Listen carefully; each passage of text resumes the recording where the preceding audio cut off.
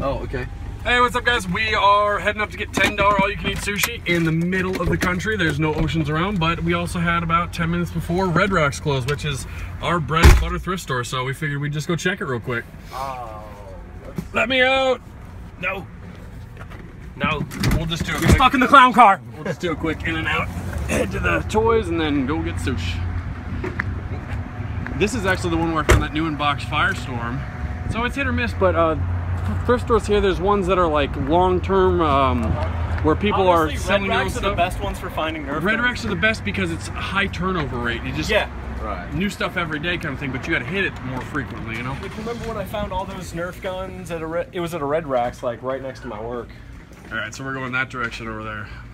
Well, it's sort of funny in, uh, in Australia, like they, they literally throw away all the Nerf guns they get. What? Yeah, so they don't actually, they don't put them out on the shelves. As far I see a double shot thing. Oh, Yeah, I don't see it. Oh wait. What's that? What is this? how is that? What is that? It looks super cool. The shell's awesome though. I just, uh, no, I think you put batteries in it and it makes noises. Yeah. What is this? See, that actually looks like a Raider kind of door side Actually. on there. That probably just goes. Hmm?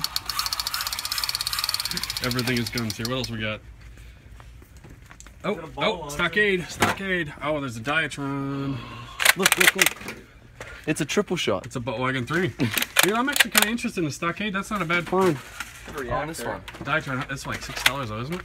I don't know. Is that six? What does that say? That's scribbles. It's just scribbles. I think it's kind of. Reactor, two bucks. That can go right back on the shelf. All right, That's kind of what I thought. what else we got? Sometimes you gotta look just a little bit more. Oh, there's, or this, oh, there's a Spectre barrel in there. Oh, what? Oh, I think there's actually a whole Spectre because there's a stock as well. How much was that?